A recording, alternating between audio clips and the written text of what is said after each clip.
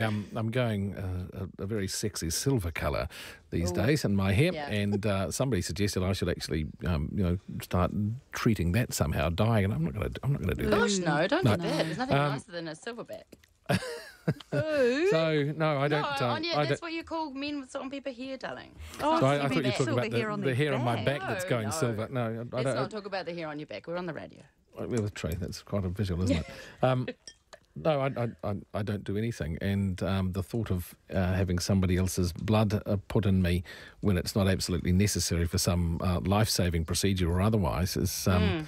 I, I, don't. I find that um, just a little bit, a little bit too much. I know, but you can only imagine what sort of bilge my blood is now. I mean, I don't know how long the young person's blood is going to stay inside you, but wouldn't it be better than the toxic mix I'm carrying around? I'm sure well, I, th- I think I think that's the point. I've, I've, had a text from a chap here. He says he says I'm 64. Uh, would 64? And I'm a 64 year old blood donor. Does this mean that my blood will make the recipient feel old? And I think, I think that is a very fair point. Right, we will I think the recipients of, um, of blood donors' blood are so poorly at the time they get yeah, it they that uh, yeah, they feel fantastic. yeah. we'll, I, we'll I, think your blood recycles actually very, very quickly anyway, in a matter mm, of, uh, matter of days. So your toxic mix, your toxic, toxic mix, mix, if you if you look after yourself for a couple of days, you'll probably find it'll be quite rejuvenated. Well, it does ensure that people news. will be going for eight thousand dollar transfusions quite regularly, doesn't it? Then, all right, we will draw a discreet veil across that conversation now. Freedom. Freedom camping. Now, this has been an issue in, in, Christchurch and around the South Island. You'll know about this, Lisa, too, into Otago and towards oh, Queens, yeah. Queenstown. so bad. So well, bad. Northland has bitten the bullet and they've actually come up with a new bylaw on that now. And some sports fields and beaches and scenic reserves are off limits for freedom campers. They've just voted this in as part of a new council bylaw. Apparently, mm. there was an audible sigh of relief around the table, the council table, when they signed it off uh, yesterday to regulate freedom campers in Whangarei after a very long process. And what the Camping and Public Places bylaw covers is self contained vehicles as well as non self contained campers It comes into effect on the 21st of October, and they're going to start to roll out the signs, but there'll be a map online so that people can actually, you know, go on online and have a look uh, at where they can and can't park. Is this the way to go? What else might help people follow the rules, do you think, Lisa? Oh, it's just so sad, isn't it? I mean, I, my biggest problem with it is I love freedom camping and I think it's a New Zealand way. And this is just the tragedy of the commons. Perhaps a tax on tourists as they enter New Zealand would help as well. It's the small places that suffer the most and they're the ones that need to get some money out of the tourists. They have to clean up after them.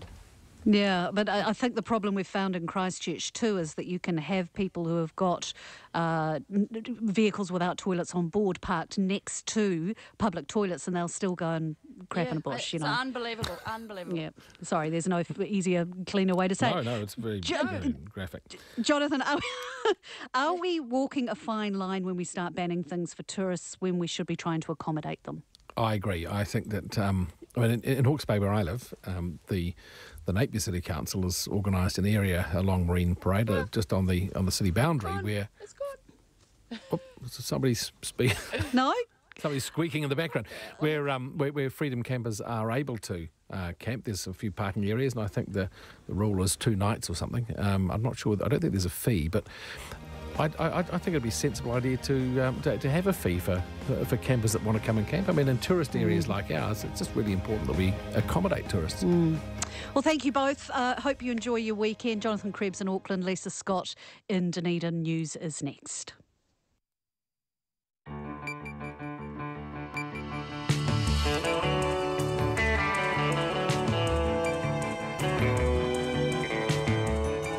Kia ora everyone. Tonight on Checkpoint, the Counties Manukau DHB tells us it's offering what it's calling a voluntary cessation scheme. In other words, letting people leave their jobs and get a payout because of a projected $20 million deficit for the next financial year. The DHB's CEO, Gloria Johnson, joins us to discuss the pressures they are under. A court hears the children of a woman stabbed to death at a pamper party are so traumatised they sleep with weapons beside their beds. Team New Zealand reveals more protocol for the next America's Cup and evacuating Ambae Islands in Vanuatu.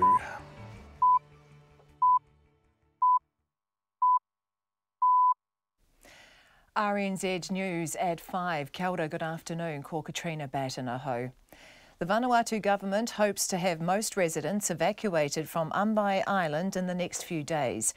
An armada of boats is heading towards the island after the government made the call to evacuate 11,000 people threatened by the uh, eruption of the island's Manaro Voui volcano. More than 7,000 people are already crammed into coastal evacuation centres as a thick layer of volcanic ash and acid rain blankets village, villages and crops. The Prime Minister, Charlot Salwai, says two parcels of land on a nearby island are being made available for Ambae Islanders, but it's only a temporary solution. The government is, has to invest uh, some money to set up some uh, logistics, utilities and facilities in place. We are talking about 11,000 people, so the two places won't be enough to allocate uh, the whole population of Ambae. Charlot Salwai hopes to have the island completely evacuated within a week by October the 6th. Meanwhile, the head of the provincial government on the island of Ambae says people are devastated at having to leave their homes. George Wangaraii says islanders are used to the volcano, which is one of the world's most active, but he's never seen it erupt like it is now. He says people are devastated at what's going on, but safety is paramount. George Wangaraii says no one knows when people will be able to return. The Department of Conservation has brought in the police to investigate several recent incidents of vehicle tampering connected to pest control operations. Wheel nuts have been loosened on vehicles used by DOC workers or contractors in two different regions. And in the most serious case, a contractor's wheel came off while he was driving. DOC's Director General Lou Sanson says it's lucky no one has been hurt by the vehicle tampering, which he believes was an attempt to intimidate workers involved with 1080 pest control. He's also seen posts on Facebook threatening to put wires across gullies to bring down helicopters and says several brochures depicting helicopters as targets have been left on DOC vehicles. I'm feeling for our staff and contractors that live in rural New Zealand. We can understand the right to legitimate protest, but when it crosses the line to wheel nuts on vehicles or putting toxic baits in people's personal property, we think it's gone too far. Lou Sanson is urging anyone who sees people tampering with DOC vehicles to contact the police. The family of an Auckland woman stabbed to death at a pamper party says they're struggling to come to terms with their loss. Mother of two, Carly Stewart, was murdered by her friend Anna Brown in October last year. Brown was today sentenced to life imprisonment with a minimum non parole period of 12 years. In her victim impact statement to the court, Ms. Stewart's mother, Charlene, had a message for Brown. Shame on you, Anna Brown. How dare you murder our beautiful Carly? What did Carly do to deserve this? You gave Carly no chance to defend herself. Your actions on that day were calculating and thought out. Clearly, you knew what you were doing. Your intent was clear. Charlene Stewart says it will take her grandchildren years to feel happy and secure after their mother's death. She said they sleep with weapons beside their beds because they're scared. A recruitment agency is planning to import truck drivers from overseas because local young people aren't interested in that line of work. While the amount of freight carried by trucks has increased, uh, over nearly by nearly a quarter of the past over the past 11 years to more than 23 billion tonnes, the number of drivers has dropped by more than 10%. It's led to the CanStaff recruitment agency to look overseas for drivers and in some cases pay for their flights and relocation costs. CanStaff's managing director Matt Jones says young people in New Zealand simply don't find the job appealing. It's probably not sexy enough for, for that generation. There's a bit of graft in it. There's a bit of dirt under the fingernails, that type of thing. The millennial generation uh, enjoy looking at a computer screen. Uh, I don't mind uh, driving a truck on a computer screen, but uh, doing it in, in real life is uh, a, a little bit different. Matt Jones. It's four and a half past five. Sport and defending champion Lydia Ko remains just off the leaderboard, nearing the end of her second round at the New Zealand Golf Open in Auckland. She's currently tied for 26th, six shots from the leader, Belén Mozo of Spain. American Emily Tubert fired one of the rounds of the day to put herself in contention. Tubert's in her first year on the LPGA Tour and says she contemplated quitting golf until she found a new coach and caddy just last month the last thing I wanted to do was be at a golf course practicing because it was so miserable. And there was just something inside that told me, not yet. And, and as hard as it was sometimes to suit up and show up and keep practicing because I felt like I was just aimlessly wandering, I did. And, and now I think I've finally found some direction. American golfer Emily Tubert. Team New Zealand is warning Auckland that it needs to get moving if it's to ensure the America's Cup Regatta does not get shifted to another venue in 2021.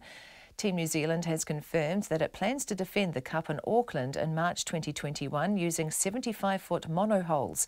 Chief Executive Grant Dalton says they and challenger of record Luna Rossa have agreed that Italy would be the backup venue if for some reason Auckland cannot host the Cup. Infrastructure needs to start by the middle of next year.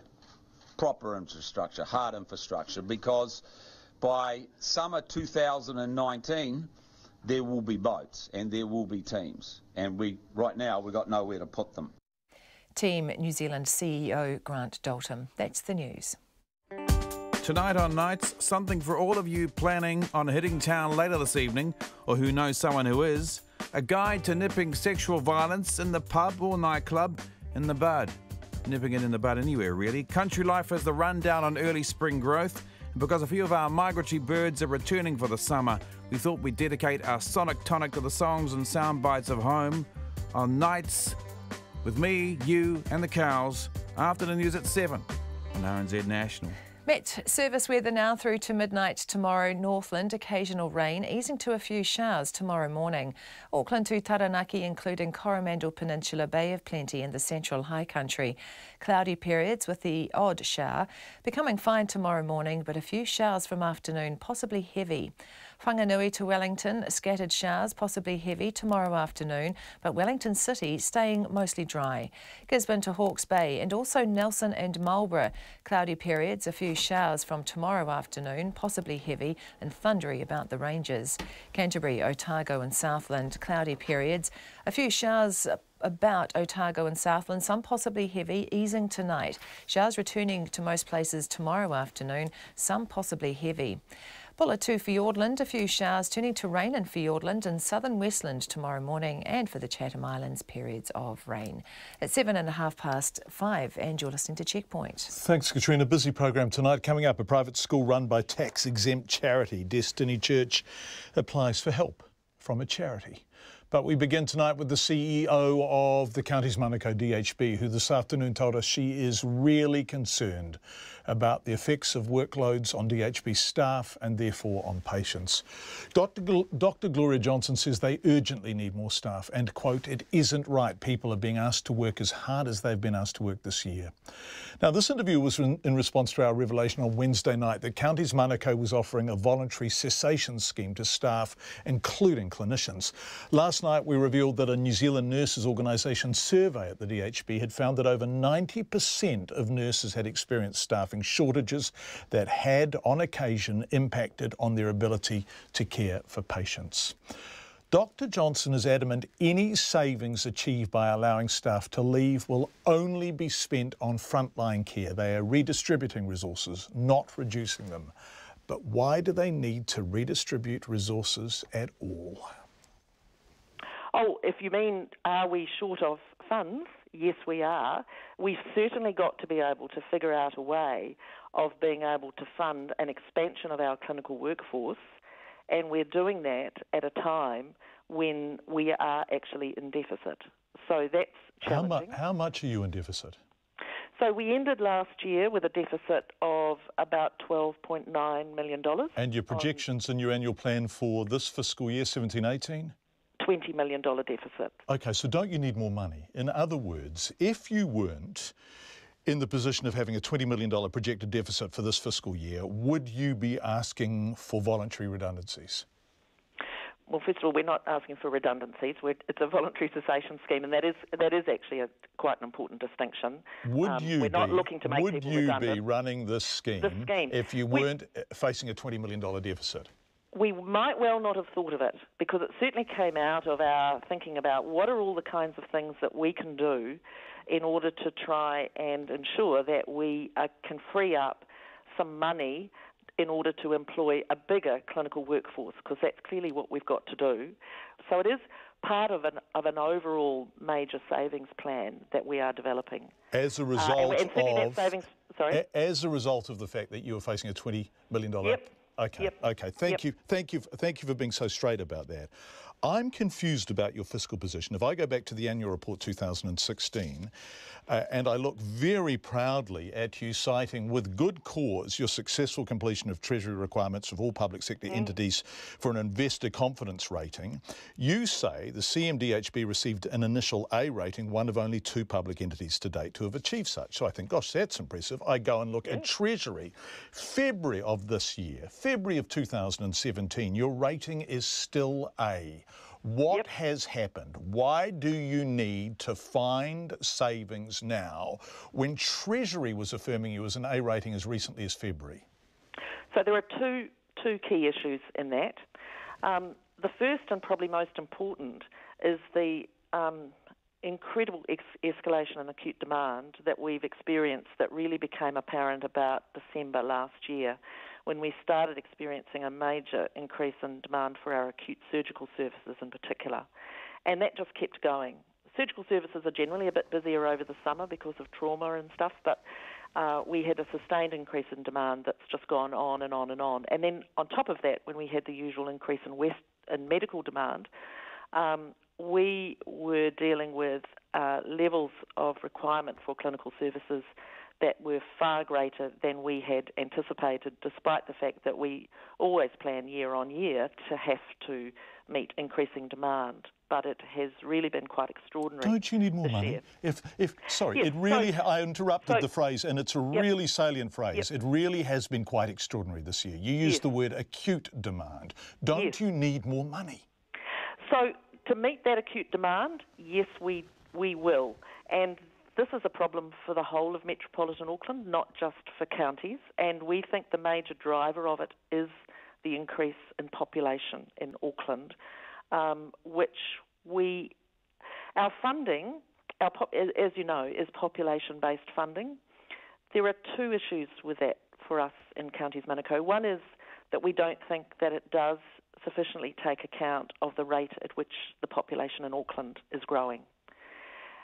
So we might get funding that, you know, um, the projections for the for the rate of growth for the rest of the country, of course, are quite different, and we need to have funding that takes account of how quickly Auckland is growing. So you are underfunded, aren't you? Oh, from our perspective, we are. The A- other a- issue sorry, that we no, have sorry. No, Yep. I really want to Yep. drill down into that. Let's Yep. set aside your So, perspective. well, I- that was on on, on a wanting to talk population basis, you begin the financial year. With a population-based model, funding model, that is obsolete by the end of the financial year because of the rapid increase in Auckland's population. That's one of the two factors. The other is... So that's an absolute no, flaw. That's an absolute flaw in your funding model, isn't it? John, I want to talk about the other flaw in the funding model to do with population. The other problem that we have is that the census is used as the basis for that population calculation. And the census numbers for South Auckland in particular are quite inaccurate. They are a serious undercount. And we know that. We know there are many more people here than get counted in the census because of our population mix you know, high migrant population, a lot of people um, living in circumstances that, that they don't want anybody to know about. So there's a serious undercount of the population here. And You so, combine that and with so fact that we have a very rather than get rather than get yeah. more money, you are facing a twenty million dollar deficit, Mm-hmm. and you are asking for the voluntary cessation of employment agreements. I'm calling it redundancy. You're saying it's not redundancy. It feels like me to this feels like the same thing to me. In other words, you are having to cut costs and invite people to leave if they are so inclined because you don't have enough money to keep up with your growing population. That's right. We also have a lot of other things that we're having to do as part of our savings program as well, of course, looking at all of our programs of work, considering, you know, to what extent we might be doing things that are, um, you know, discretionary activities rather than core business. Uh, we do a lot of things that are still very useful things, but if they're not absolutely part of our core business, if we're this short of money, then we have to consider whether or not we really should be doing them. Now, you are asking if people would like to leave. We have a nurses survey which tells us very explicitly that 267 of the 272 nurses who answered have experienced short staffing in their ward or their team. In yeah. other words, you are doing it way tougher than you should be doing it because you don't have enough money. That's correct. I mean, we're really concerned about the effect of the workloads that we've been experiencing this year on our staff as well as on our patients and their families. And people have continued to do an absolutely fantastic job, and we get amazingly positive feedback from people even when it's incredibly busy. But it isn't right that people are being asked to work as hard as they have been asked to work this year. We need to be able to get more staff in place and have more facilities in which to treat people um, really quite urgently now. And so that's why we, we, we actually need more nurses and more doctors and more physios and so on and so forth. We need more people who can actually directly look after sick people. And if we look at the impact of, of that first question in the survey that I mentioned to you, have you experienced short staffing lately? If we go to the second question, do you ever feel that you have reached the limits of safe practice as a result of an acute staffing shortage? 264 responses, 246 were yes. Yes, yeah, yeah. It's very concerning. Um, and we did a similar survey with our um, medical staff in the general medical teams as well. And um, and they came up with very similar answers and gave us very similar examples of just how difficult it had been to continue doing a good job, uh, particularly over our very busy weeks in June and so, July so and the, early August. Right, so this is a Counties Manukau DHB survey. So you've done your own internal survey. We did our own internal survey and, of the and, medical and, staff after, right. after the NZNO had shared their survey of the nursing staff, and, which obviously greatly so, concerned us. Okay, yeah. and so your internal survey, more or less, in broad terms, matches the feedback that you're getting from the union. Yep, that's right. Yep. So managers and unions agree that actually you are short staffed. Yes.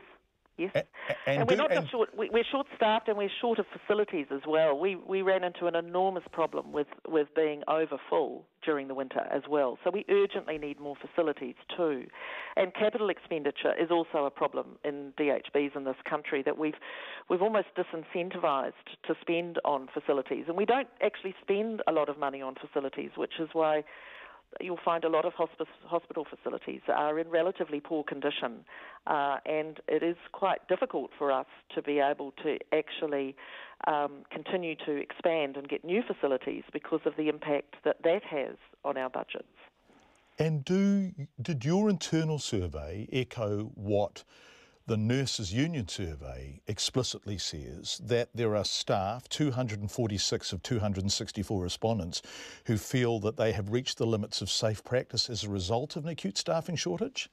Yes, so our survey was we used the we used the same questions reworked for medical staff, and the medical staff expressed the same views as the nursing staff. What yeah. that they've reached the limits of safe practice? Yes, Yes, and that they were really concerned about the impact, the potential impact on patient care. And what people tell us is, you know, they they still um, obviously practice as safely as they possibly can, but um, but it's really stressful, not only working really hard, but being aware of the fact that that may be having an impact on the quality of the job that you're doing as well. That's Dr. Gloria Johnson, the CEO of the Counties Manukau DHB in Auckland, of course. That interview and our revelations about the DHB earlier this week follow admissions from the southern DHB on checkpoint that unreasonably long delays in patient care have contributed to reduced life expectancy in patients with prostate cancer.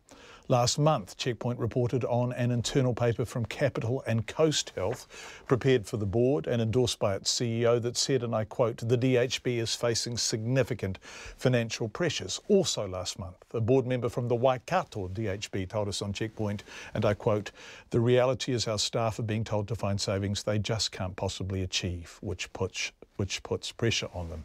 In July, the Canterbury DHB expressed concerns that reducing its deficit would require making service cuts of an unprecedented scale. And then today, what you've just heard from Counties Manukau. They are recurring themes from DHBs throughout the country.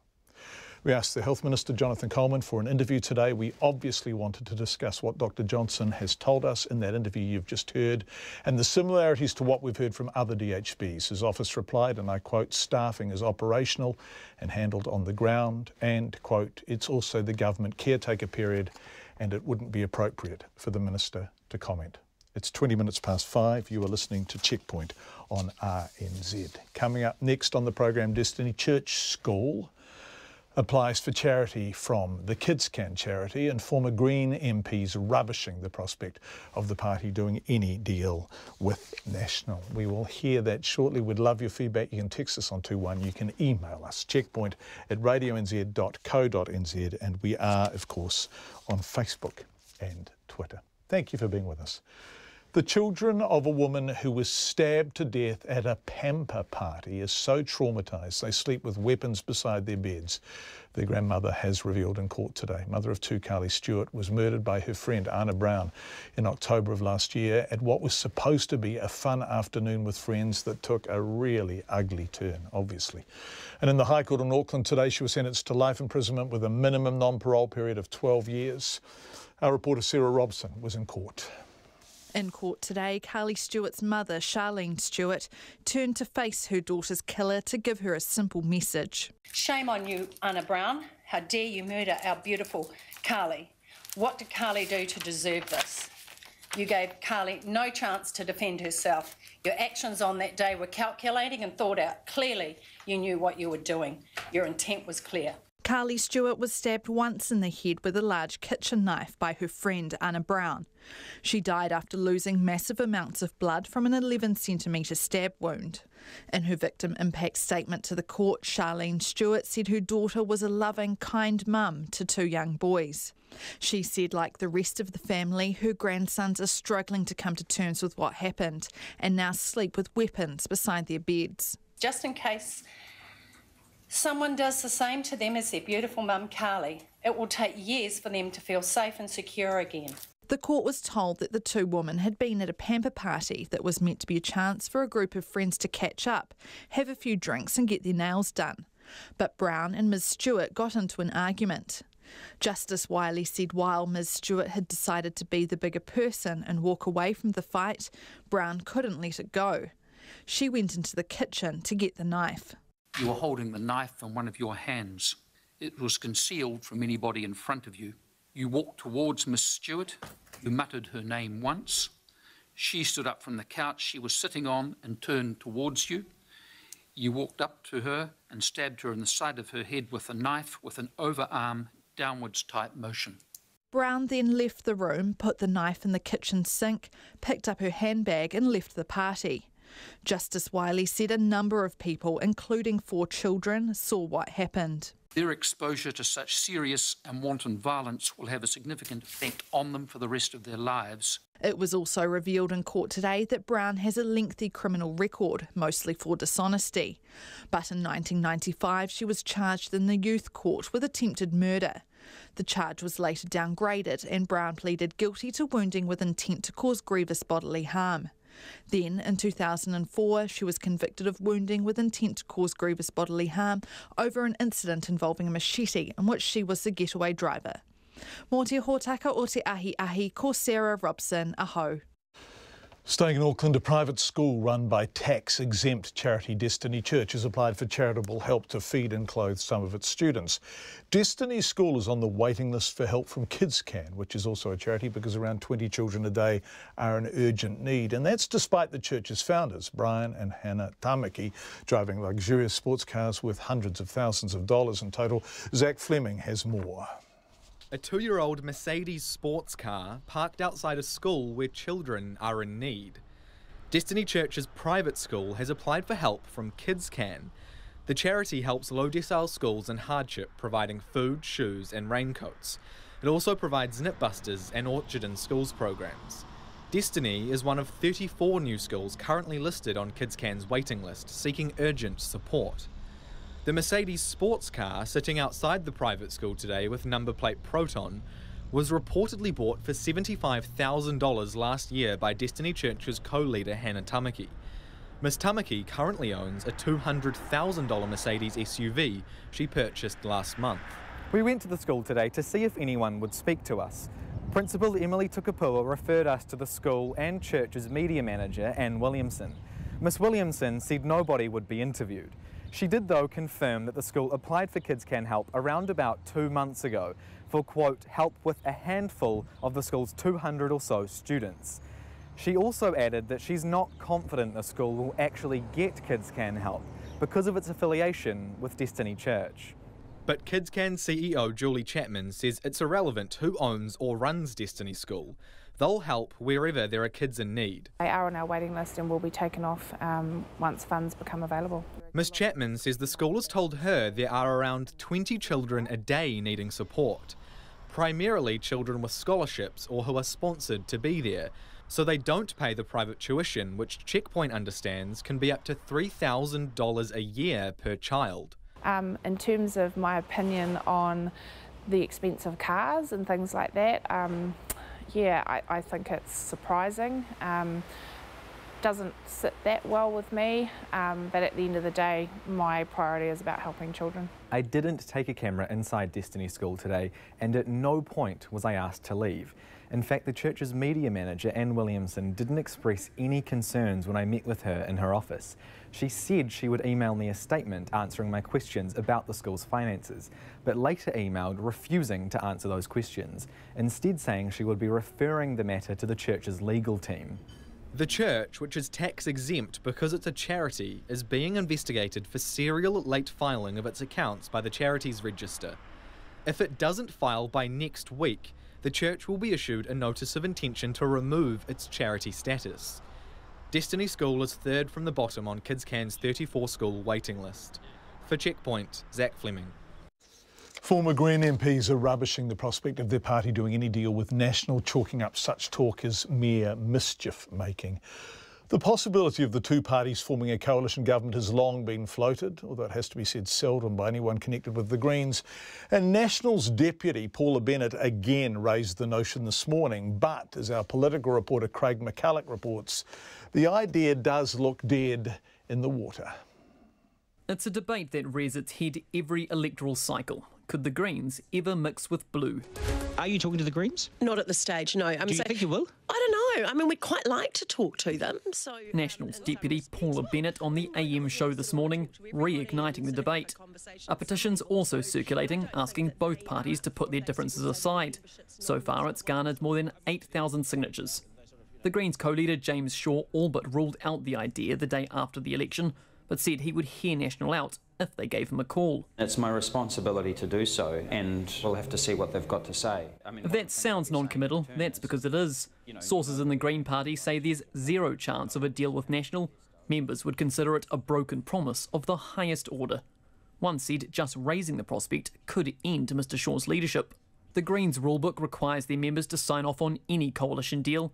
They need the backing of at least three quarters of those at a special general meeting. They will decide, and I'm pretty sure what they're going to decide. The former Green MP Catherine Delahunty says she'd rather drink hemlock than back a deal with National. As far as I'm concerned, there's a snowball in hell chance the Green Party would ever be part of that. We fought hard to change the government, and the last thing I want to see is the Green Party or any other party propping them up to put them back into power because they've done enough damage. Another putting in the boot is Steffan Browning. He stepped down from the party at the election and says National's principles are anathema to the Greens. The National Party lied about Labour's fiscal intentions. That is dirty politics. It's got dirty results. National is full of it. The party's survival is present in everyone's mind too. David Clendon walked out on the Greens over Metiria Turei's benefit scandal. The ensuing furore and Jacinda Ardern taking the helm of Labour saw the Greens skirting close to the crucial 5% threshold in the polls. Mr Clendon says everyone's aware of the fate of the Māori Party, which voters ejected from Parliament after its deal with National. If you're going into a coalition with a somewhat incompatible partner, you better do that from a position of strength. And I just don't think that the Greens, with seven or eight MPs, would have that level of security. Long term, David Clendon hopes the Greens can unshackle themselves to go either with left or right leaning parties, but says at the moment National's policies are too incompatible.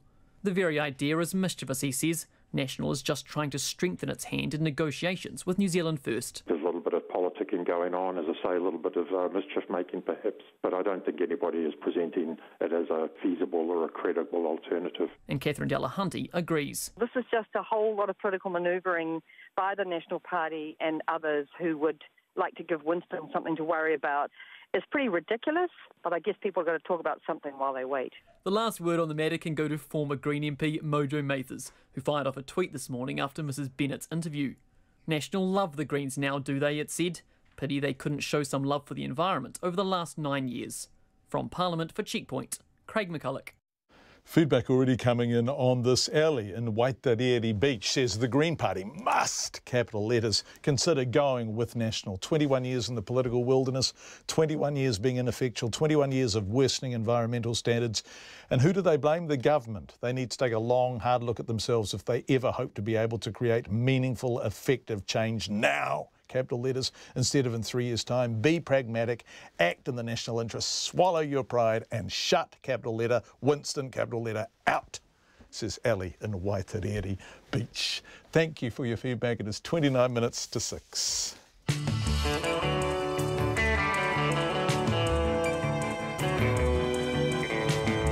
Coming up on the program, Team New Zealand reveals more of its protocols for the next America's Cup. The evacuation of 11,000 residents from an island in Vanuatu. Vanuatu. Nona has uh, the week reviewed in business news. We got that. And uh, Katrina has headlines, first of all. I do. The Vanuatu government hopes to have most residents evacuated from Ambae Island in the next few days. An armada of boats is heading towards the island after the government made the call to evacuate 11,000 people threatened by the eruption of the island's Manaro Voui volcano. More than 7,000 people are crammed into coastal evacuation centres as volcanic ash and acid rain blankets villages and crops. The police are trying to find out who's responsible for tampering with vehicles used by Department of Conservation staff and contractors. The department says wheel nuts have been loosened on vehicles, and in the most serious case, a DOC contractor's wheel came off while he was driving. The CEO of the Counties Manukau DHB has admitted she's really concerned about the impact of staffing shortages on staff and therefore on patient care.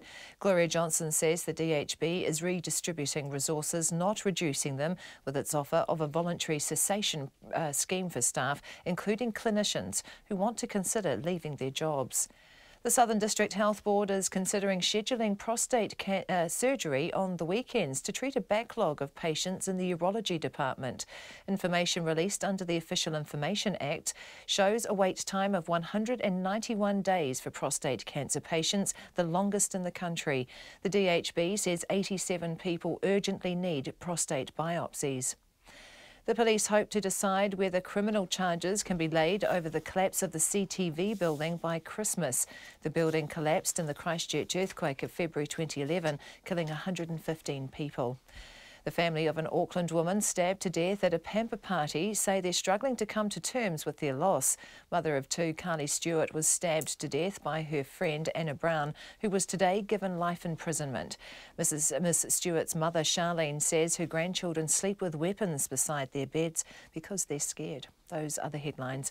I'm back at six. Thank you very much indeed, Katrina. Let's turn to business news now with Nona Peltier.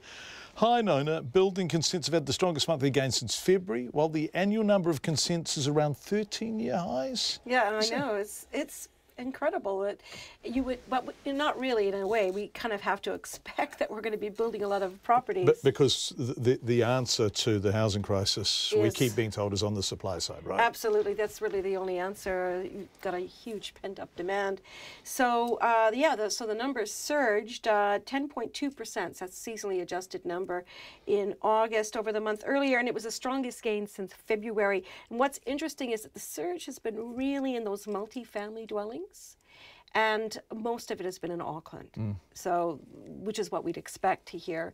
Uh, housing actually dipped around the country, other than in Auckland. So, almost all of the big increase was Auckland, and um, you would expect that. Now, uh, ANZ uh, Bank, the economists there, have looked at those numbers, and they're saying, well, it's not exactly a trend, and and they think that the housing uh, consents will be capped around 30,000 because that's our capacity level at this stage. So probably the most we can hope to build is about 30,000 properties or you know homes a, a year. In Auckland. Uh, actually, I think that's a national number. Yeah. Yeah. And that's w- way short of what it's estimated It's short is of required. what's needed, yeah. Okay, okay. So uh, you would expect this to, to be a, a continuing issue, that there are going to be supply issues in Auckland. However, at least, hey, we are building houses and we need them, so that's good. Fisher and Paykel has won a small battle in defending intellectual property. Can you explain that to us? What was that uh, case Oh, well, about, Nona? You know, Fisher and Paykel have a, a, a fairly large competitor in the United States called ResMed, and they have similar products, but there are issues between the patents between the two companies. Fisher and Paykel say, you know, this is ours, and ResMed says, no, it's ours. Anyways, they've been fighting in various jurisdictions around the world. Uh, they just won, Fisher and Paykel just won a small little um, skirmish, I guess you could call it, because it's a big battle. Uh, in Germany, a German court suspended two of ResMed's claims uh, for alleged patent infringements. But never mind, uh, you know, ResMed's going to keep coming back at them. In fact, Fisher and Paykel has uh, spent close to $21 million in the year ended June on legal fees. Wow. But they think it's worth it because, I mean, you know, that's their whole gig. Is I bet the lawyers think it's worth it too now. $21 million. Wow. Nice and, work you know, that's just on it. one side of it, right? So you can imagine it's a lot of money. Uh, so, anyways, but nevertheless, Fisher and Paykel's healthcare share price rose 1%. Um, so, obviously, the market like that 13 cents to $12.78. And our dollar, it's steady at 72.1 US, 91.9 Australian, and 53.8 pence, and that's despite a very strong rise in the US dollar over the course of the week. Um, shares in Asia have come off a little bit, but not in our market. No, no. Uh, we rose 0.2% to a record close for the week, up 17 points to 7,930. Nona Peltier ending the week in business on RNZ. Thank you very much indeed. Have a wonderful weekend, Nona. Thank you. Team New Zealand unveiled more details today of its 2021 America's Cup defence and given Auckland and the government a bit of a nudge to sort out the venue. The 37th Cup regatta will be sailed in 75 foot monohulls. The cat's gone, of course, probably with foils, and teams will be required to have at least three crew members from their home country. It's not a high bar, but it is a bar. Some details remain a mystery for now, though. Here's our America's Cup reporter, Todd Niall. a year ago. I didn't know whether I'd be walking in here with this to do this today. Uh, and, Team New Zealand Chief Executive Grant Dalton laying out the rules for the next America's Cup a 75 foot monohull, a three sailor citizenship rule, and residency requirements for the rest of the sailors. Also, the unprecedented naming of a backup venue in Italy, should for any reason Auckland be unable to host the contest for the world's oldest sporting trophy. Grant Dalton insisted it wasn't a warning shot to the Auckland Council and government to get on with venue building. now we've had an election, the government will firm up, we can really get into it. Panuku have been great, uh, Council, Stephen Town and, and AT have been great. So it's starting to form, but it's still got to form. I mean, we haven't even worked on a host city agreement yet. We've been focused on the protocol, and now that's done. Now the next stage. But a gentle nudge it was, and on hand to be reassuring, Ian Cossa from the Ministry of Business, Innovation and Employment. As Grant said, the infrastructure isn't immediately available um, in the harbour now. Uh, so some investment is going to be necessary. That investment will have a lead or lag time just to build it. Whatever it might be, we're working through a range of options, but we're very conscious of, of the end dates and when we need that to be there. Steve Armitage from the Auckland Council's event agency ATEED says papers on the base options should be completed in about a month to be ready for teams in 2019. There's a lot of work that needs to happen to make that 2019 deadline, um, but we're confident we can do that. Some rules are less draconian than speculated, such as whether New Zealand boat builders could seek business with foreign teams. Apart from the hulls, everything can be built in this country the rig, the deck, the in- internals, if necessary, everything. Other than the hull itself. So that's a huge scope open still to the industry.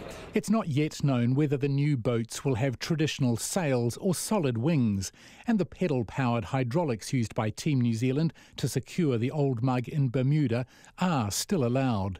Team New Zealand's winning helmsman Peter Burling is about to contest the Volvo Round the World race and was giving little away on the boat. Uh, we're really excited about you know some of the ideas we have come up with. You know this team's been incredibly innovative over the last eight years in, in multi-hulls and I think uh, we're looking to now bring that innovation into, into some monohulls. But the skipper Glenn Ashby was looser-lipped on the question of foils. Well, there'll be foils of some description for sure. Um, uh, without foils, you, you, know, the boats don't sail too well. So yeah, look, there's going to be a lot of a lot of um, you know development going forward, and you know there'll be a lot of work done over the next few weeks, few months on on what those boats will be. But one thing's for sure, the the sailing will be absolutely fantastic fantastic and no matter what your background is, um, it'll be fantastic for yachting going forwards. Beh, abbiamo deciso di, ehm, di sostenere il nuovo corso. The challengers will race for the Prada Cup, sponsored by Luna Rossa's main sponsor. The team's senior sailor Max Sirena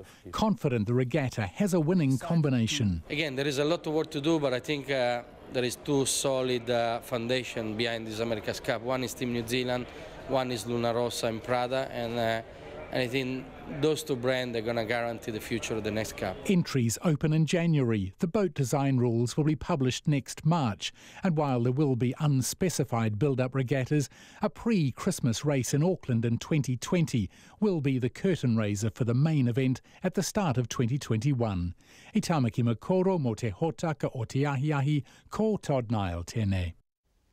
A Christchurch recruitment firm has gone international in its search for more truck drivers.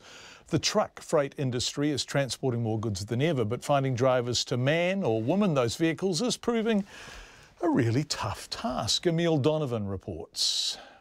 Simon Reed owns a trucking company in Northland. It maintains about nine trucks and business is pretty good. But he's got a problem, one that's been building for some years and that isn't going away. There is a quite a problem with attracting drivers to the industry. It's not going to be something that goes away simply because the government isn't interested in helping us. They don't see it as, as being a critical problem in the bigger picture of the economy. Since 2006, the amount of freight trucked around New Zealand's roads has grown by more than 20% to over 23 billion tonnes. But in that same time, the number of truck drivers has shrunk by nearly 13%. Companies say it's because young people aren't showing any interest in the work, and the managing director of recruitment firm CanStaff, Matt Jones, reckons he knows why. It's probably not sexy enough for, for that generation. There's a bit of graft in it. There's a bit of dirt under the fingernails, that type of thing. The millennial generation uh, enjoy looking at a computer screen. Uh, I don't mind uh, driving a truck on a computer screen, but uh, doing it in, in real life is uh, a, a little bit different. So, in lieu of Kiwis, Mr. Jones is taking matters into his own hands, travelling over to Ireland to pitch the job to youngsters from the Emerald Isle. Uh, 90 to 100 roles there at the moment to fill, and, and we just can't fill them within New Zealand. We're looking for people to come down and, and experience New Zealand, enjoy working in New Zealand, uh, and, and Ireland certainly uh, mirrors New Zealand on that front. Truck driving's actually a fairly lucrative job. It starts at about 50,000 a year, hits six figures at the top levels and doesn't require an expensive tertiary degree. All you need to get the wheels rolling is a full driver's license and one of four types of special class license, which you can sit straight away after having your full license for six months. The Toi Ohomai Institute of Technology in Tauranga offers courses in heavy truck driving safety. The group leader of those courses, Dean Colville, says enrolments have hit a low point. This year we've, we've had the lowest numbers ever of people coming through. Well, normally we, we run classes of about 20 and this year they've been down to 14 or as low as 6 in some cases. Mr Colville says the problem is the six month wait to get a full driver's licence, which means young people set on a truck driving career can't go straight from high school. And Matt Jones agrees that despite his Irish solution, the wider issue needs to be addressed fast the people that we're targeting are in many ways short-term solutions to this problem. Their ability to remain in New Zealand long term uh, are very, very limited. So the people we bring in are, are a short-term gap filler. The, the, the whole industry needs more support. Mr Jones reckons overall there are about a thousand truck driving vacancies nationwide, just in case you're looking for a change of scenery. Mo te hotaka o te ahi ahi ko Emile Donovan tēnei. 60 minutes to 6 feedback coming in on Destiny Church being on the KidsCan waiting list. What a cheek Destiny Church has. First, they take a tithe of a tenth of family income, charge for children to go to their school, and now want to take money from KidsCan, money that could help children really in need. Thank you for your feedback. You can text us 2101, of course, and email checkpoint at radionz.co.nz. The UN is being accused of a series of failures in the lead up to the Rohingya crisis. More than half a million Rohingya Muslims have fled an offensive by the Myanmar military in Rakhine State and are now sheltering in camps across the border in Bangladesh. Of course, we've been to those camps and the conditions there are really tough. Earlier today, the UN Security Council held its first open session on the crisis. Secretary General says violence in Myanmar has spiralled into the world's fastest developing refugee emergency and a human rights nightmare. But an investigation by the BBC's Jonah Fisher raises questions about the way UN leadership in Myanmar handled the issue. In the month since Rohingya Muslims first began fleeing into Bangladesh, the United Nations has been at the forefront of the response.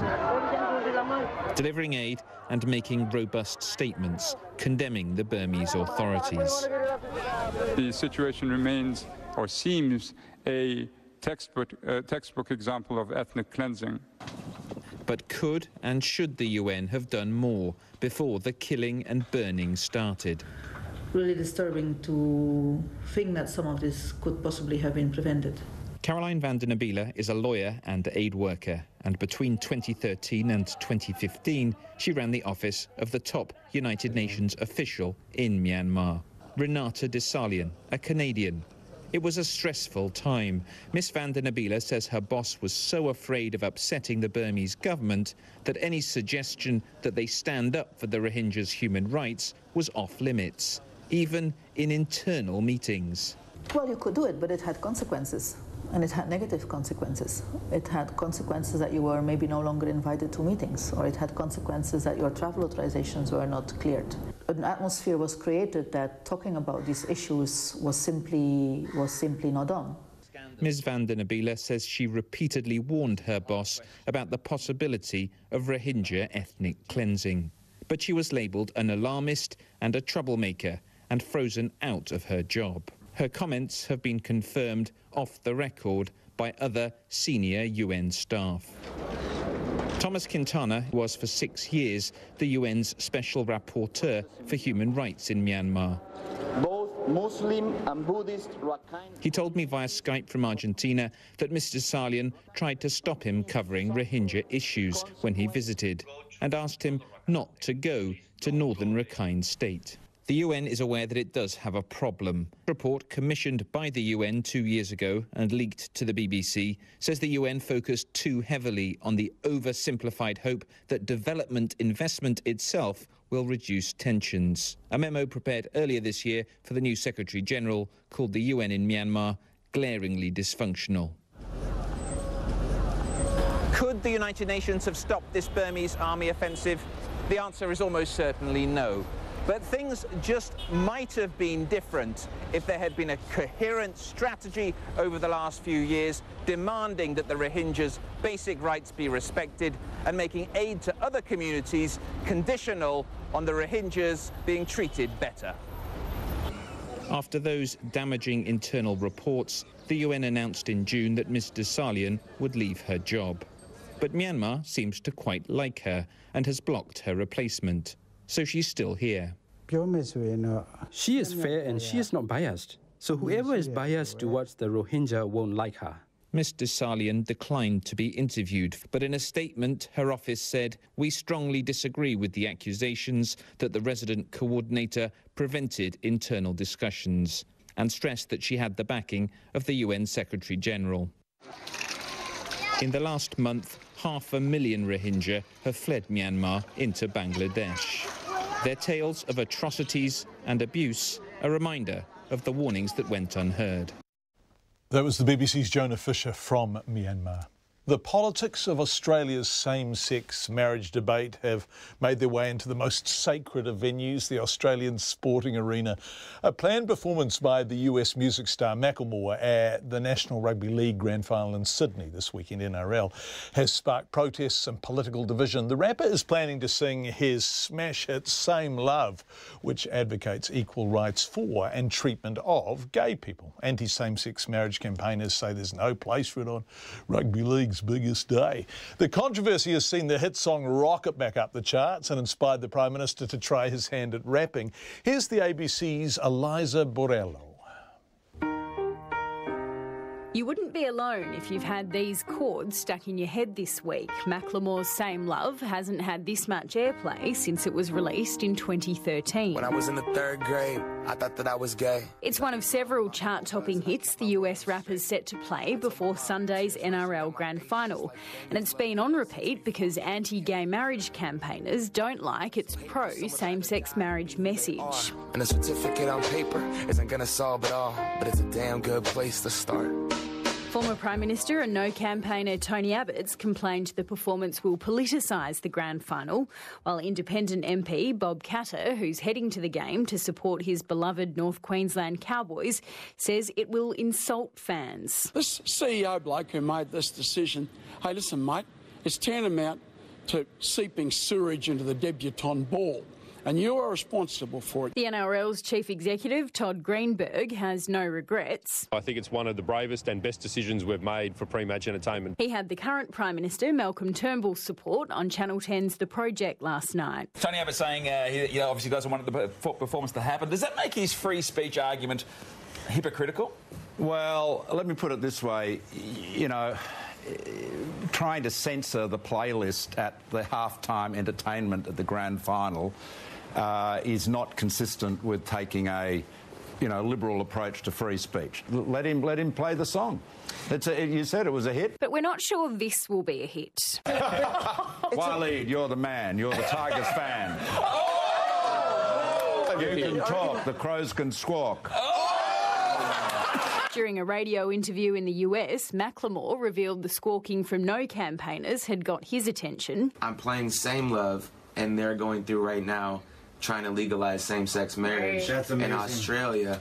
So I'm getting a lot of tweets from angry old white dudes in Australia. Wow. Undeterred, the Grammy Award winner is expected to make the case for change at a media conference hosted by the NRL later today. Pretty much guaranteeing whether you like it or not, you'll be hearing more of this between now and Sunday.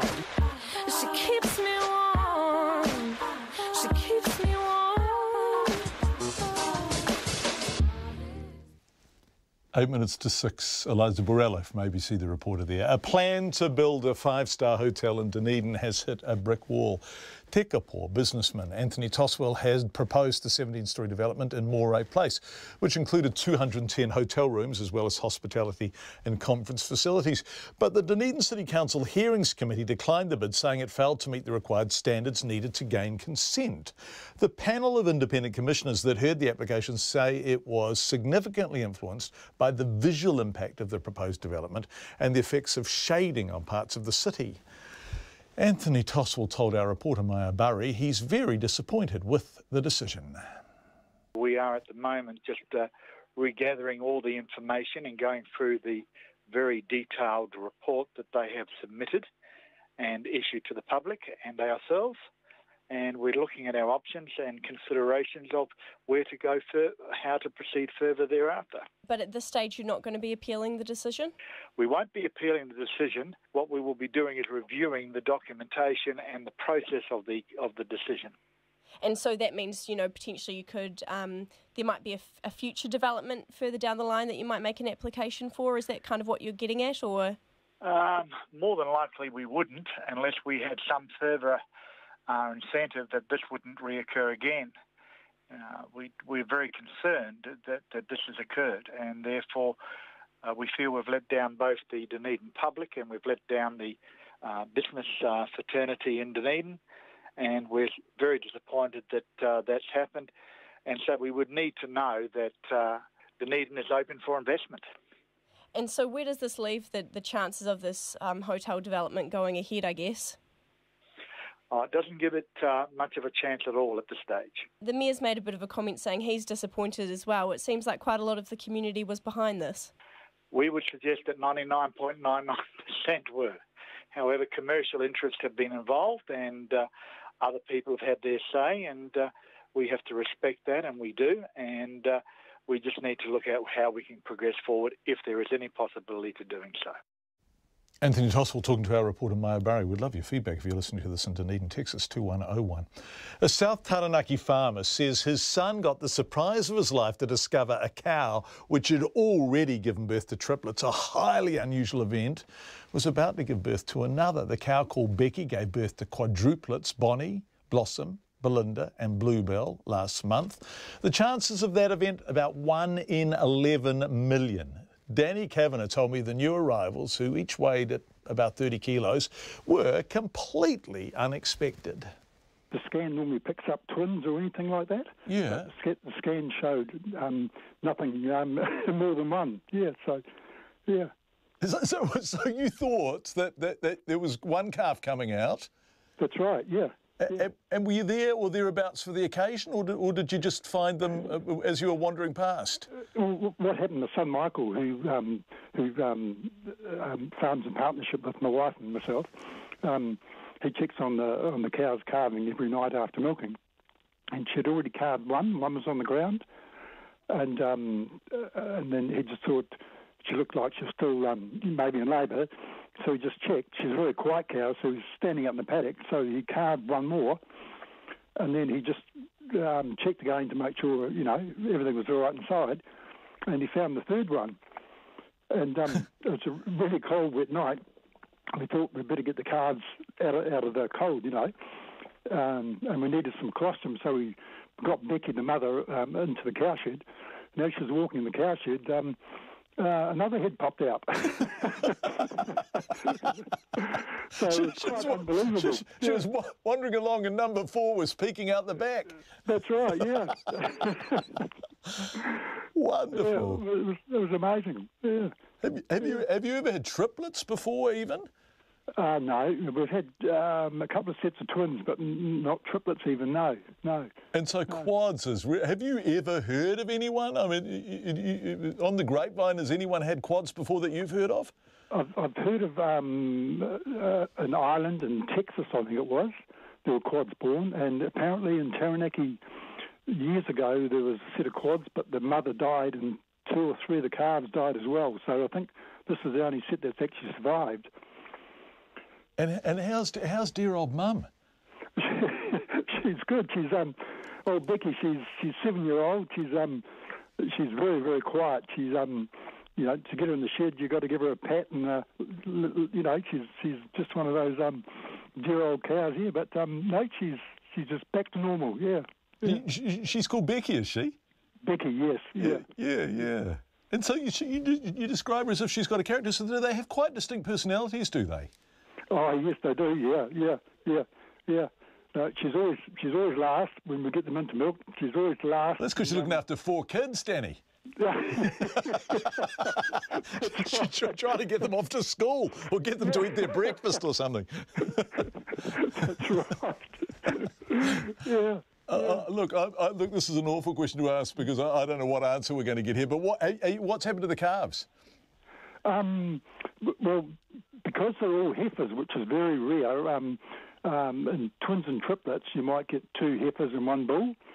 Um, and and um, in, in, in, cattle, if you have um, one bull or one heifer, it normally means that the um, heifer is infertile. They call it a freemartin. Wow. Um, but these are all four four heifers. So even though they're a little bit smaller, we're going to keep them um, and just see how they grow. You know, yeah. That's good news, isn't it? I felt real trepidation as I asked that question, Danny Kavanagh. Uh, one in 11 million chance of, um, of uh, having quadruplets uh, when you're calving. Lots and lots of feedback on health and the DHB. Counties Manukau tonight, but we've been looking at lots of DHBs, as you know, over the past couple of months. Your exposure, says Richard, of the underfunding of health boards questions the national government's plans for tax cuts for those who can afford health insurance as a priority over providing adequate health care for the population with more modest incomes. Peter from Christchurch says if this is a caretaker period for the government, then it's been caretaking since 2008. Does that explain its consistent underfunding of health boards? Doug says re DHBs and the national government wants to give us a tax cut instead of more funding for health. Disgraceful. Hi, John. Asking for voluntary redundancies of people at the top of the pay scale, whatever profession, says Jane, to enable employment of more people assumed to be at the lower end of the pay scale damages the quality of care by reducing the level of wisdom and experience in the care team.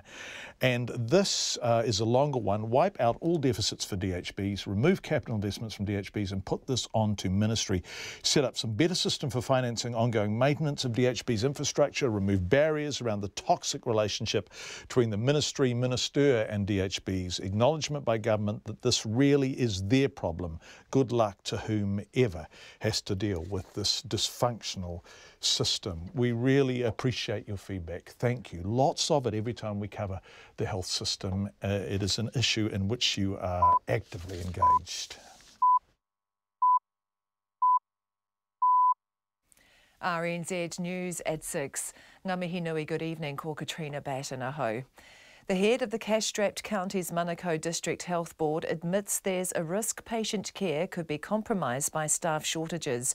Gloria Johnson has told Checkpoint the DHB, which runs Middlemore Hospital, urgently needs more staff. But with the projected $20 million deficit this year, it needs to cut costs. She says an internal survey of doctors echoes nurses' concerns about the pressure on staff and patient safety.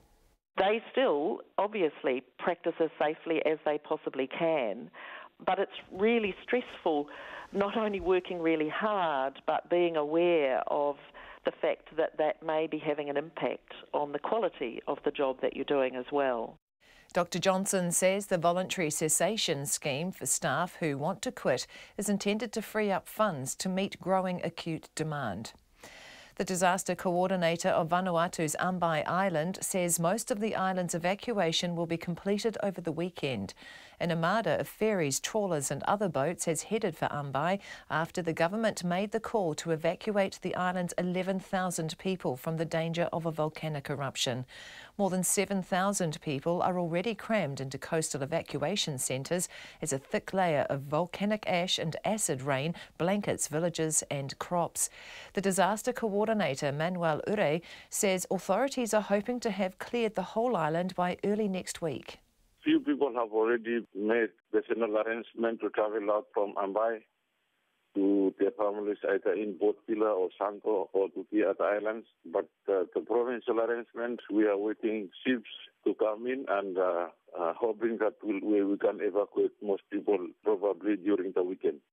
Manuel Ure says the evacuees will be scattered around the nearby islands of Santo, Pentecost, Malikula and Maewo. The former Green MP, Steffan Browning, has dismissed the idea of his party forming a government with National, saying their principles are incompatible. National's Deputy Paula Bennett this morning said her party would quite like to talk to the Greens about the possibility of forming a government. The Greens co-leader James Shaw has previously played down the idea, but says he'd have to listen to an offer if the National Party called. But Mr Browning says National's principles are anathema to the Greens. The National Party lied about Labour's fiscal intentions. That is dirty politics. It's got dirty results. National is full of it. The former Green MP, Steffan Browning. Recent attacks on vehicles belonging to conservation workers and contractors have left the Department of Conservation fearing for the safety of its staff. In three instances, wheel nuts on the vehicles were loosened, but the department says other threats have also been made. Anne Marie May reports. In the most serious case, a contractor's wheel came off while he was driving after the wheel nuts were loosened. However, DOC's Director General Lou Sanson has also seen posts on Facebook threatening to put wires across gullies to bring down helicopters and says several brochures depicting helicopters as targets have been left on the organisation's vehicles. He believes they are attempts to intimidate workers involved in 1080 pest control operations and says while people have a right to legitimate protest, when it crosses the line in that way, it is going too far. Mr. Sanson is urging anyone who sees people tampering with DOC vehicles to contact the police. This is Anne Marie May. A developer whose bid to build a five star inner city hotel in Dunedin was declined says he won't be appealing the ruling. The Dunedin City Council Hearings Committee released its decision today following public hearings in July. Tekapo businessman Anthony Tosswill proposed the 17 story development in Moray Place, which included 210 hotel rooms as well as hospitality and conference facilities. The independent commissioners noted the visual impact of the proposed development, how it would shade parts of the city centre, and its impact on neighbouring heritage buildings. Mr Tosswill says he's very disappointed the application was rejected as he felt there'd been an overwhelming support in the city for the development. The next America's Cup will be sailed in 75 foot monohulls off Auckland's North Shore. Along with more details of the Cup defence, Team New Zealand has also given the Auckland Council and the government a gentle nudge. It's named an Italian venue as a backup should the city be unable to host the regatta. Our America's Cup reporter Todd Niall has details. Team New Zealand's Grant Dalton insists the backup venue is not a prod for Auckland to get on and decide where on the waterfront teams will be based.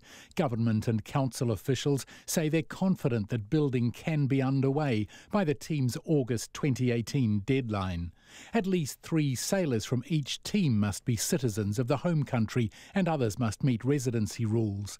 Around eight challenges are hoped for, with entries open in January and the boat design finalised by March. In Auckland, Todd Niall. It is five and a half past six. Sport defending champion Lydia Ko is just outside the top 10, nearing the end of the second round of the New Zealand Women's Golf Open in Auckland. Ko is currently tied for 13th, eight shots behind leader Belén Mozo of Spain, whose round today included a hole in one. The Crusaders fullback David Havili will release a boyhood dream this weekend when he makes his All Blacks debut from the bench in Argentina, and he's struggling to contain his excitement. Havili was brought into the side prior to the first week of the competition to replace the injured Jordie Barrett, but has not appeared in any matchday squad since. He says he's ready for the cauldron of Test rugby pretty pumped day. Like it's been a massive dream of mine to, to get into this team, and um, since I was a little kid, so it's going to be a huge honour. Trying to stay calm and um, wait for those butterflies to, to go away, but um, once I get on there, it's just hopefully going to be smooth sailing. David Havili. Meanwhile, the former Highlanders coach and current Japan national coach, Jamie Joseph, will take control of the Sunwolves Super Rugby side in Japan. And former All Black Brad Thorn is expected to take over as Queensland Reds coach after the side reportedly sacked Nick Stiles. Skipper Winston Reid returns from injury to lead the All Whites in their friendly against Japan in Nagoya next week. The game is part of their preparation for the World Cup Intercontinental Playoff Series in November. Striker Shane Smeltz and midfielder Marco Rojas also return from injury. That's the news. Tomorrow morning, astrophysicist Dr. Natalie Batalha, who is scoping our future as a spacefaring species. Journalist Diana Wichtel tells the story of her father, a Holocaust survivor. And Chef Al Brown reinvents the past. Curried eggs. Yes, tomorrow morning from 8 on RNZ National. Met service weather through to midnight tomorrow. Northland, occasional rain, easing to a few showers tomorrow morning. Auckland to Taranaki, including Coromandel Peninsula, Bay of Plenty and the central high country. Cloudy periods with the odd shower. Becoming fine tomorrow morning, but a few showers from afternoon, possibly heavy. Whanganui to Wellington, scattered showers, possibly heavy tomorrow afternoon, but Wellington City staying mostly dry. Gisborne to Hawke's Bay, also Nelson and Marlborough, cloudy periods. A few showers from tomorrow afternoon, possibly heavy and thundery about the ranges. Canterbury, Otago and Southland, cloudy periods. A few showers about Otago and Southland. Some possibly heavy, easing tonight. Showers returning most places tomorrow afternoon, some possibly heavy. Buller 2 for Fiordland, a few showers turning to rain in Fiordland and southern Westland tomorrow morning and for the Chatham Islands periods of rain. It's 8 past 6 and you're listening to Checkpoint. What was Auckland? Pretty Just cloudy periods, the odd shower. Becoming fine tomorrow morning. Hasn't rained for two or three days. yeah, two. Uh, it's, it's shocking, it's isn't practically it? Practically a drought. Yeah. By Auckland standards, we won't know what to do with ourselves unless it rains soon. thanks, thanks, Katrina. Have a lovely weekend. You too. Thank you. Eight and a half past six, and a armada of ferries, trawlers, and other boats is chugging towards the Vanuatu island of Ambae as the country continues to evacuate about 5% of its population. The decision to clear the island, about 11,000 people, was made yesterday as the island's volcano continues to erupt. But more problematically, seems to be building towards a much bigger one. Jamie Tahana reports. More than 7,000 people are already crammed into coastal evacuation centres, nearly two weeks after the volcano, Manaro Voui, started belching ash, smoke, and occasional bursts of lava. The General Secretary of the Penama Provincial Government, George Wingaraii, says locals are used to the volcano, one of the world's most active, but he's never seen anything like this before, even when compared to the last big eruption in 2005 it's much worse than 2005 because the eruption is continuous. Uh, it sometimes stops, but when it starts, it is continuous, and, and, and also we are experiencing the uh, more ashfall. The volcano has blanketed most of the island in ash, contaminating an already fragile water supply, choking crops and food gardens, as well as forcing people to flee towards the coast. They've been packed into schools and community halls, running short of food and water, and in conditions far from sanitary. But with Manaro Voui rumbling above and showing no signs of abating, the government yesterday made the decision to evacuate the whole island, 11,000 people. Mr. Garai says people are devastated. It is very devastating. It is very sad.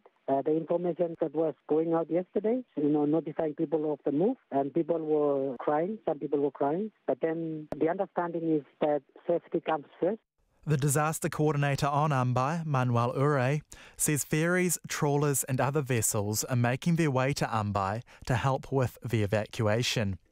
Children, the elderly, and the disabled will be first when evacuations start on Saturday, and Mr. Ure says he hopes all 11,000 people will be gone by the middle of next week. Few people have already made the final arrangement to travel out from Ambae to their families either in Pilar or Sanko or to the other islands. But uh, the provincial arrangement, we are waiting ships to come in and uh, uh, hoping that we'll, we can evacuate most people probably during the weekend. The evacuees will be scattered around the nearby islands of Santo, Pentecost, Malakula, and Maewo, where the government is opening its land and some custom chiefs have offered theirs. A leader in the Malbanban area of southern Pentecost, Robinson Tema, says his chiefs have made the decision to accept about 500 evacuees. He says villagers are clearing out nakamals and churches, readying for their arrival. The area that I'm living in, there are lots of rivers. Maybe with food, we need help from the government to support us with uh, food to feed the people who will be coming from Ambae. Robinson Tema says he doesn't know how long the people will be staying. No one does, just as no one knows whether a major volcanic eruption will occur on Ambae. This is Jamie Tahana. Thanks so much, Jamie. Uh, we asked for feedback just before the news on this hotel in Dunedin that is not going ahead, and by golly, we've got it. Thank you. With thousands of possible hotel designs, why pursue one that was bound to fail, one that looked like a squatting transformer, one with no gesture towards sustainability? At least 25% uh, were opposed, as were most submissions, says Richard. The hotel was a bad design and unsuitable for the site, trying for the cheapest construction. Design would have been better if it terraced up the site instead of a tower dominating the town hall, cathedral, and octagon, says another Dunedin resident. Leanne says the hotel was very controversial. There was significant opposition to it. It was proposed by someone who had no history of our city nor any understanding of Dunedin's history. Not only, when the, not only were there issues around shading and creating a wind tunnel, it completely ignored all the existing building restrictions in the city. Dunedin is a city that relies heavily on its heritage, and this, this monstrosity would have destroyed it. These are men coming to our city telling us to be sheep, that uh, doing as the likes of Auckland does is our best and only option. We need people who understand and respect the city's history to find an innovative option. Hey, Steph here from Dunedin. Hey, Steph. The proposed hotel was a monstrosity. It was ugly and sensitive to the unique architectural style of the city and was certainly not supported by 99% of locals. What Dunedin wants is a long, sprawling waterfront hotel that will link the waiting to be, waiting to be developed industrial waterfront area to the city via the historic railway station. Smiley face, smiley face. Thank you, Steph. Judging from letters and submissions re the proposed hotel, 99% were opposed to it. It would be at least half apartments with some hotel rooms massively dominating all other buildings, shading the octagon.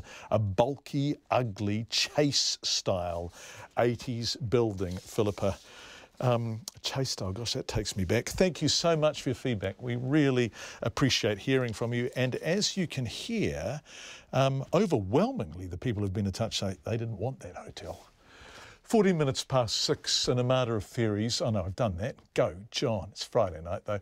With thousands of possible hotel designs. No, that's feedback. Might just have just, just said in my face, my God, you're on air. Europe's largest airline, Ryanair, has been whacked by the UK aviation regulator like I was just whacked by Pip and has been given 24 hours to sort out compensation for hundreds of thousands of passengers affected by mass flight cancellations. Earlier this month, Ryanair announced it was cancelling tens of thousands of flights for the coming winter season in Europe, blaming a problem with pilot rostering and staff.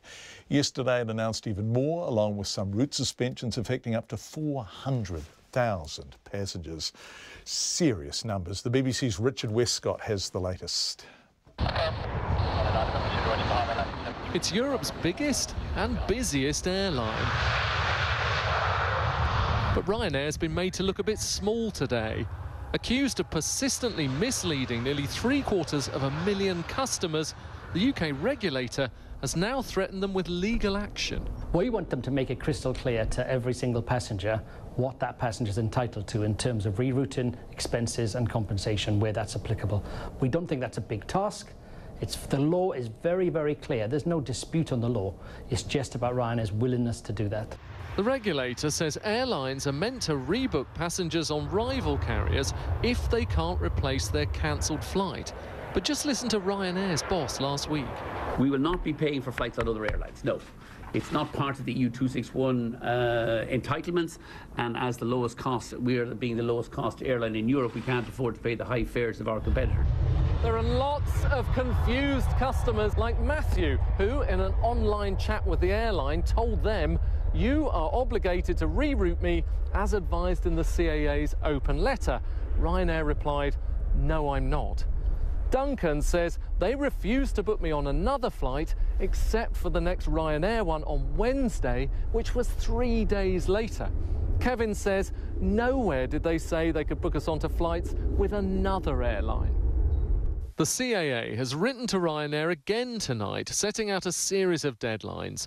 By 5 pm tomorrow, they must put more information on the website about how people can reroute flights and claim back expenses. They've been told to then email passengers about their rights by the middle of next week. It's pretty rare for you to go public like this. You must be angry. Uh, we are furious. We simply don't understand why this needs to drag on for weeks and why at the end of this process customers still can't be clear uh, about what their entitlements are when Ryanair cancel hundreds of thousands of journeys.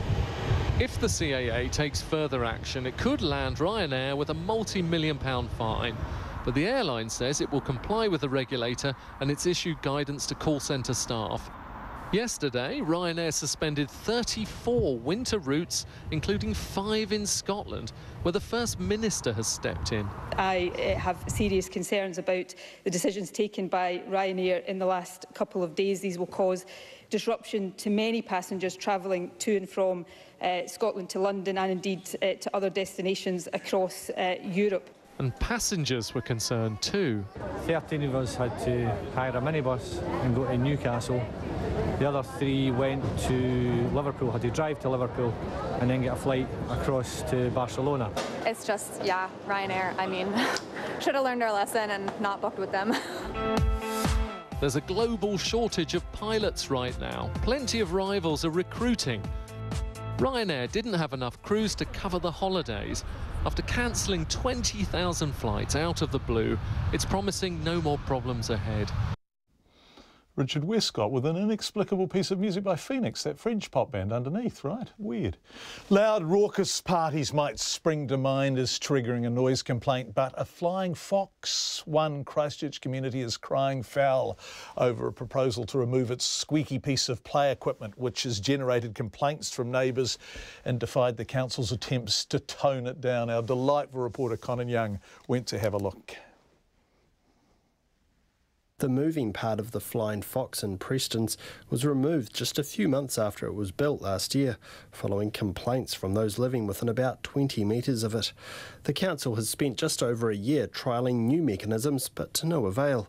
The ward councillor, David East, says the community board will vote on Monday on a staff recommendation to rip out the Flying Fox completely. Acoustic results seem to be just under or just over allowable levels in daylight hours, but do not in any way meet the nighttime hours.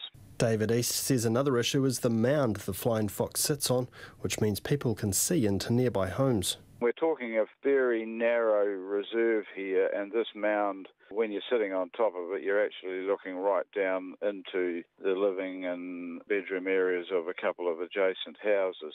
None of the residents living closest to the playground were home when RNZ came calling today, but Jesse Davison, who lives about 50 metres away and has two young children, wants the flying fox to stay. It is definitely a noisy flying fox. It didn't bother us, but I know there are quieter alternatives out there, so it'd be nice to think we could come to some kind of compromise with a quieter flying fox. She doesn't think the mound is an intrusion of privacy. Absolutely not. I'm, I'm really surprised. Um, I guess it's a new subdivision, so with a bit of planting and some time, I'm sure that wouldn't be too much of an issue. Another resident who asked not to be named says most locals want the flying fox to remain. We're all disappointed to see it going we can um, empathise with the people who are really close to it, um, and that's unfortunate. But I suppose when you buy near a park, you're near a park. He says it's important for residents of a new subdivision to have a common recreational place. While we don't use it a lot, our grandkids do when they come.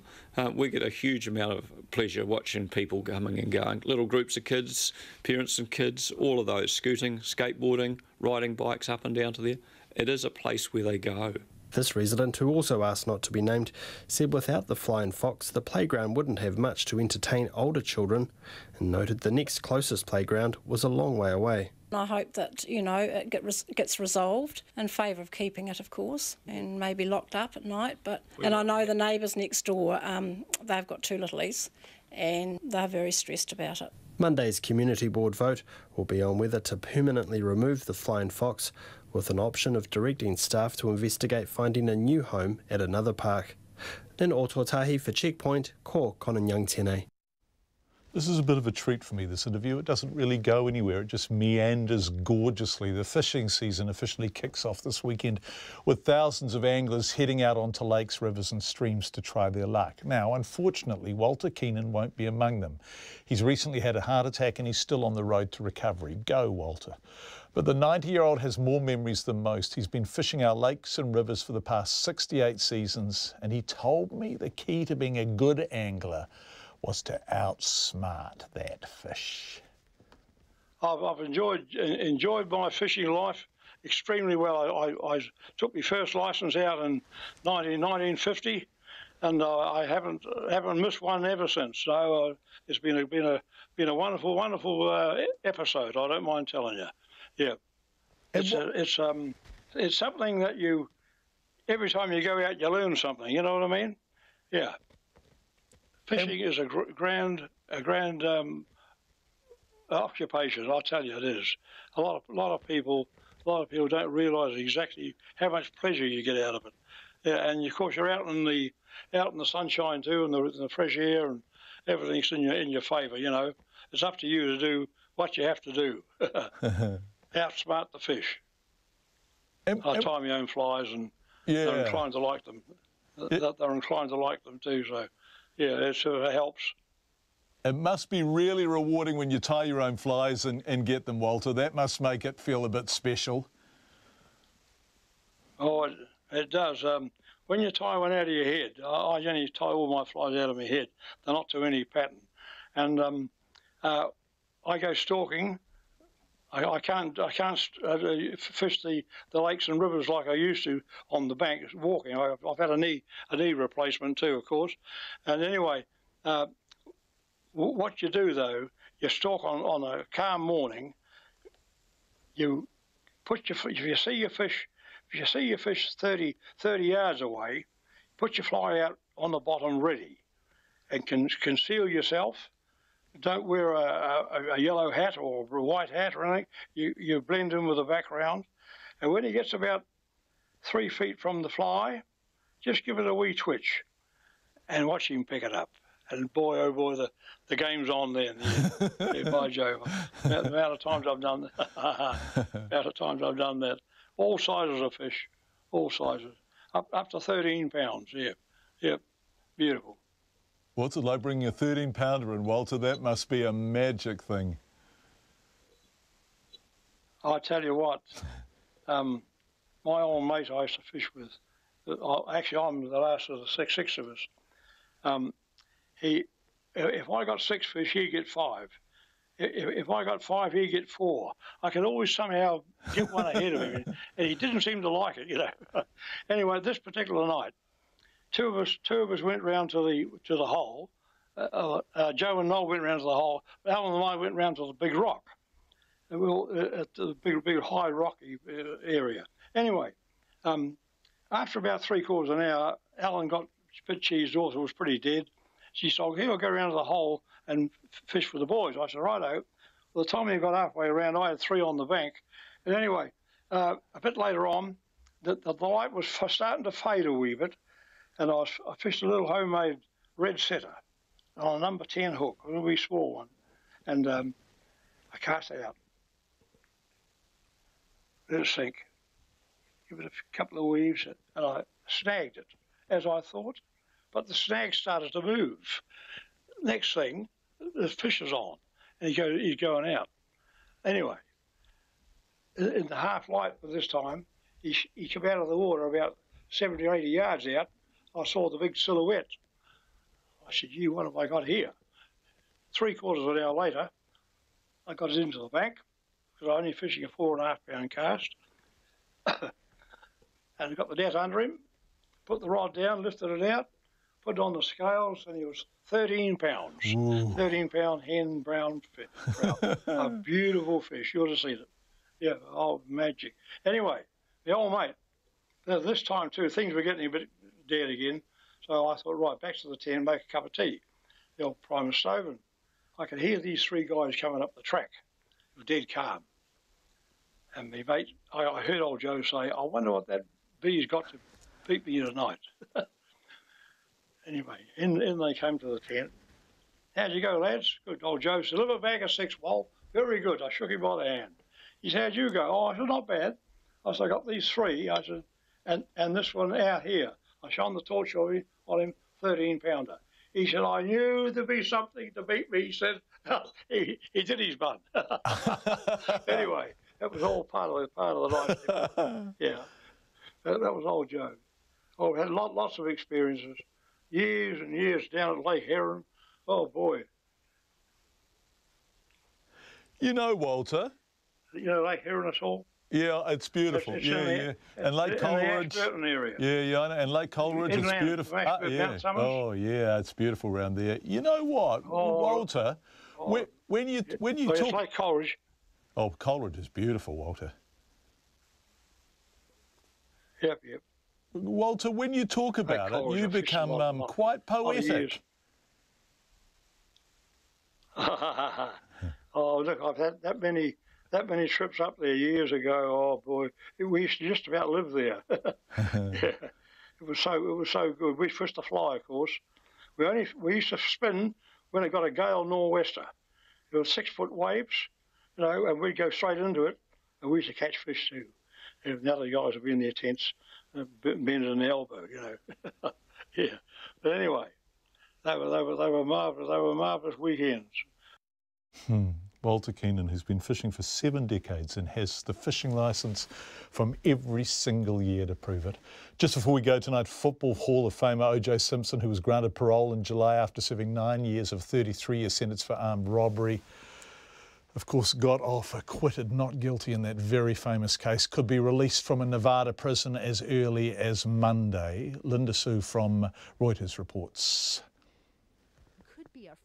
by Monday. The Football Hall of Famer was granted parole back in July for good behavior. He served nine years of a 33 year sentence in a Nevada prison for a 2008 armed robbery. Although his handcuffs will be gone, Simpson will likely remain shackled to a multi million dollar wrongful death civil suit. The $58 million suit stems from the murders of his ex wife Nicole Brown and her friend Ron Goldman. The former football movie and TV star became infamous after his acquittal in the 1994 murders. Although he was found not guilty in criminal court, the civil case forced Simpson to sell his sports memorabilia. In 2008, he claimed some of it was stolen and was just trying to get it back when he stormed a Las Vegas hotel room, which ultimately led to his conviction for armed robbery and kidnapping.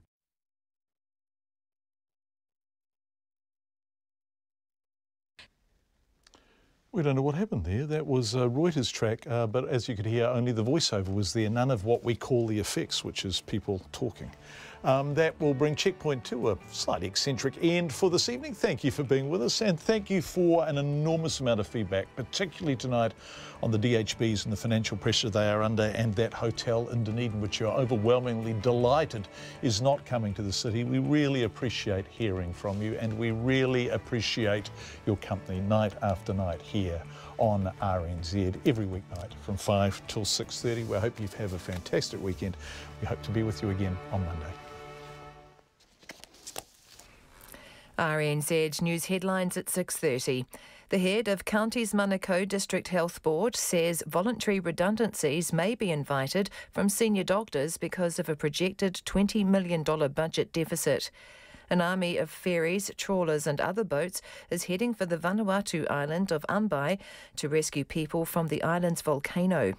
DOC is fearing for the safety of conservation workers and contractors after recent attacks on their vehicles.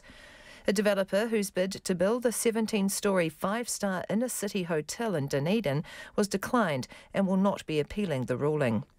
A suggestion from National's deputy Paula Bennett that National would quite like to talk to the Greens about forming a government has been scoffed at by party members. And Team New Zealand says it's important to restore some of the traditions associated with the America's Cup after today confirming 75